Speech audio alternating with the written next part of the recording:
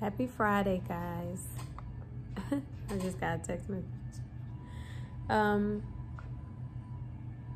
so go ahead and get your fire and grab your tea.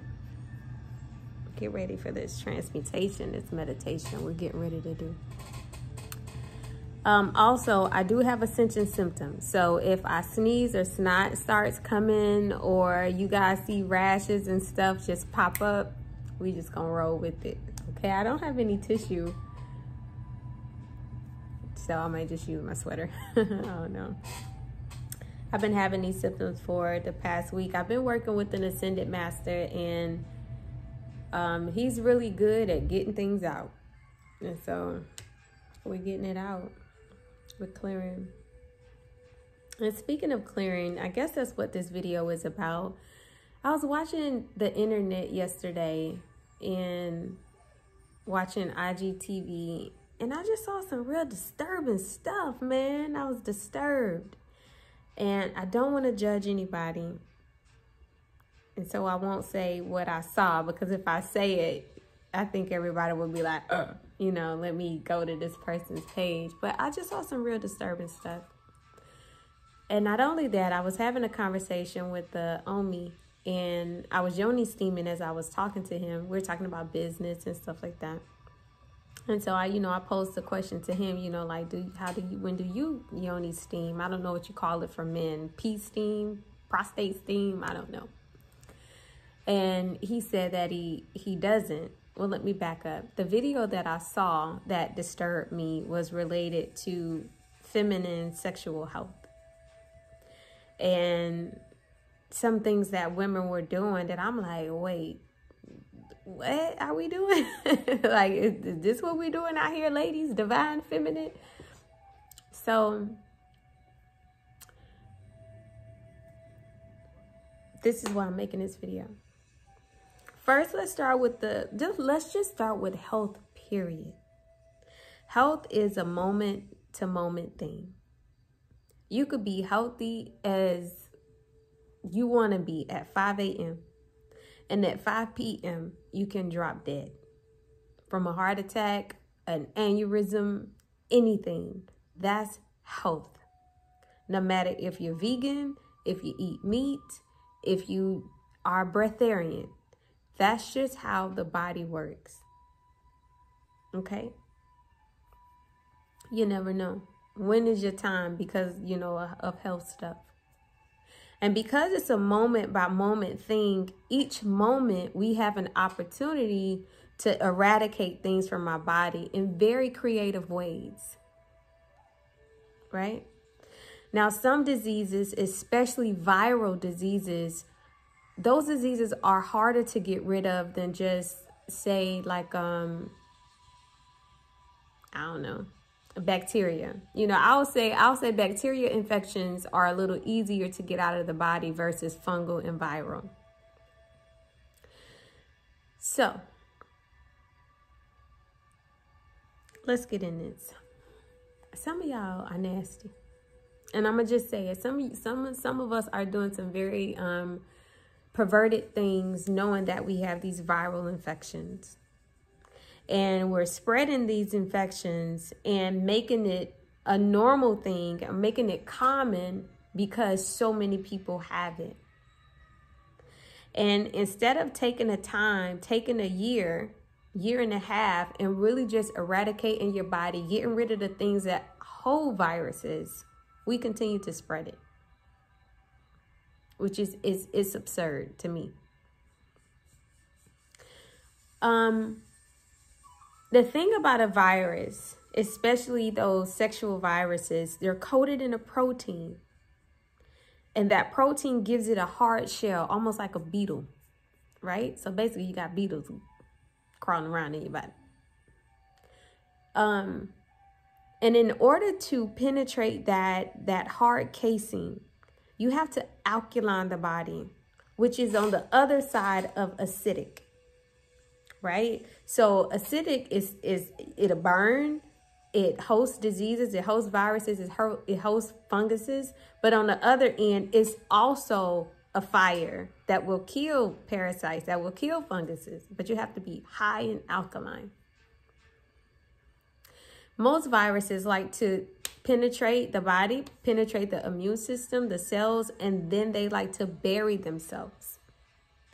So you could legit contract the virus, a sexual virus at the age of 17, but it not express itself until the age of 25 when your immune system is compromised.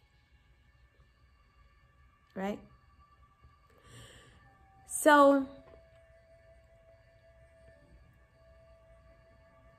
the way to even stop a virus before it comes is to check the mind. Because this is the thing. You can fast you could do vegan you could take all of the oils you could take all of the herbs but the virus will persist until you get rid of the mental virus that attracted it. It's a mental and an emotional virus. When we're thinking about a virus viruses like genital herpes that comes from guilt and shame you attract that virus from repetitive thoughts of guilt and shame. And nine times out of 10, it's a religious or family thing. Religious or family psychology, let me not say thing. And so, although you may be acting and engaging in sexual behaviors, you still have this underlying guilt like oh man i shouldn't be doing this i know this is wrong da, da, da, da, da. and so until the mind processes the guilt and get rid of the guilt completely from whenever it started two years old three years old whenever you got taught that whatever sexual behavior is wrong and you started forming guilt when you your body began to be sexual until you go back to that very moment and sometimes it's ancestral you have to go back centuries until you get rid of that, that virus is going to stay in the body no matter what herbs you take. So it's a spirit, soul, and body thing. It's holistic. And yeah, it is curable. I saw on the video somebody was like, well, you can't cure it and da da da da da. And that's why yoni steaming is so important because yoni steaming, number one, is lubricating the walls, it's lubricating the, the pelvic area, it's steaming things out, things that are buried in there that wouldn't come out with just a cup of tea. That steaming is unclogging. Ain't nothing staying in there with a good steam, a consistent steam. Yoni steaming is able to get to the cellular level and pull out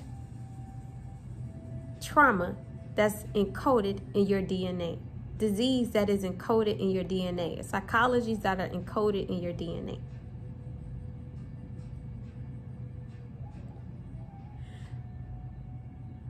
And let me say this. Sometimes when a disease is buried so deep, we don't know it's there because we don't have outbreak or whatever the case may be. But your personality will show the disease, the personality, the anger, the frustration, or the cravings, or the the pervertedness, the addictions show that is no longer you. The virus has taken over. You just call it your personality. You say, well, that's just who I am. That's just who I am. No, it's the virus controlling you. And that brings me to men and steaming the prostate. So, I hate that uh, I don't have a lot of time. If I run out of time, this will go to YouTube. So, one thing when I'm dating somebody, like I'm not the I'm not the take me out to dinner type of girl. I'm not take me to the movies type of woman. That's just not me. Who that's not who I am. I want to know what deposits you're putting into yourself. I want to know what are your healthcare regimens? What are you doing spirit, soul, and body? I want to go to the places that you go to feed yourself. I want to see that. I want to know that the masculine is doing something outside of the gym to make himself whole. And oftentimes men don't and peep it. So after I had the one conversation with the homie about, you know, the prostate steaming, I started asking other men, I'm like, do y'all, you know, you, you steam your prostate? no one does.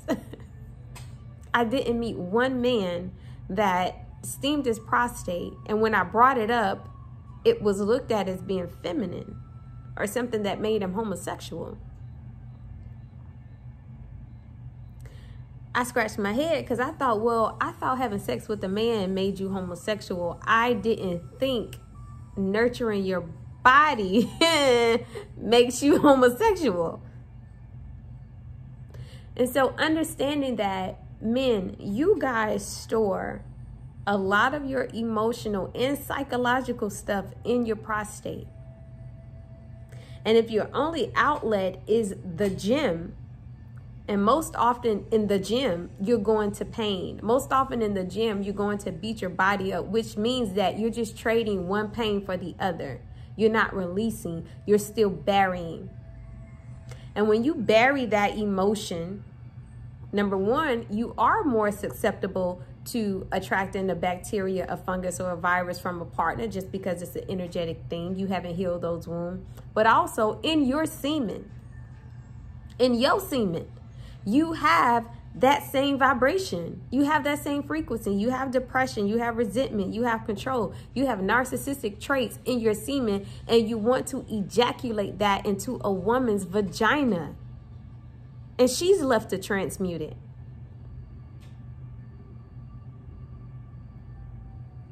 because of the mentality that, oh, if I take care of my testicles, I'm gay.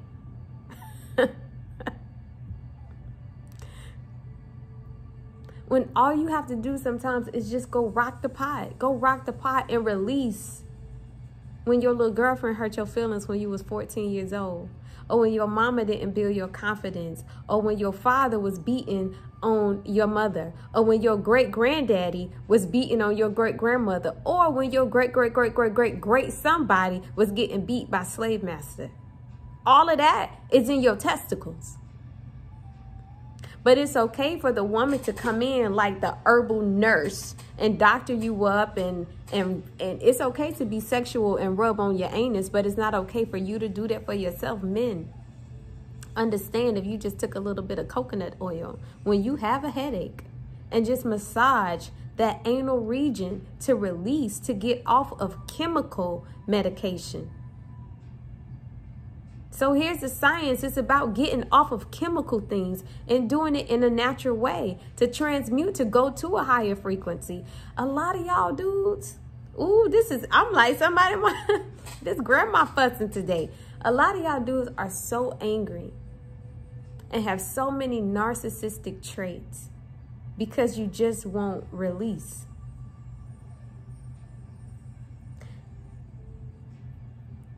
Because a woman didn't hurt you somewhere in your life. And you spent the rest of your life trying to control not being hurt again. That's not a God. That's not divine masculine. That's just a plain, that's just a man. That's a boy, honestly. There are special herbs and remedies specifically for men to help with this. And so, I mean, it seems like it's just a, it's just a, a great dysfunction, number one, on our sexuality. And that's what part of the agenda about this year is about perverting the human sexuality. That's the last thing that we have left. Like everything else, like these energies have perverse. Our sexuality is is is next. And it should be sacred. And being sacred doesn't mean that it can't be fun. Being sacred doesn't mean that it has to be monogamous, but it should be sacred. And sacred sexuality starts with yourself. It starts with getting all of the viruses, all of the bacteria, all of the funguses out of your body before even engaging with someone. It's about checking that nasty ass personality that you have. the control, the narcissism, the stalking, the abuse, verbal, mental, emotional.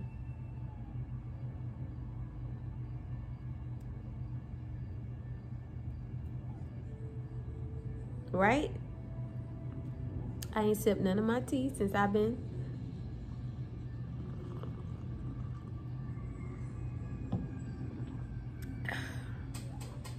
symptom ascension symptoms.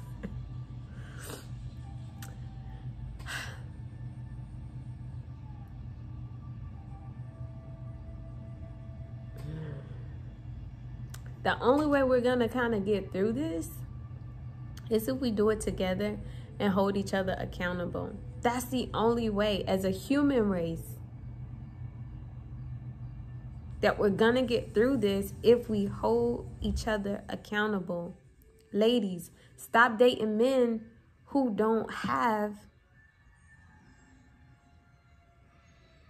a healthcare regimen that's beyond the gym. Men, stop dating women who don't take care of their yoni. Like, stop doing it. That's like one of my first questions. Like, what what do you do? What what do you do? I want to know what you do. And here's the thing: a person can lie and say whatever, but over time, if you move slow, that person, who that person really is, is gonna reveal itself. So either that person is going to lie themselves into transformation. They're going to lie themselves there if they want to keep dating you. Are they actually going to be who they say they are?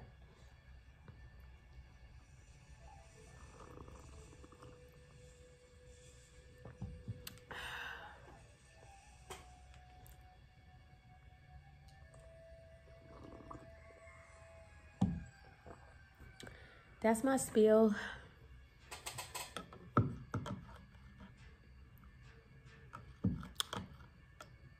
Happy Friday, people.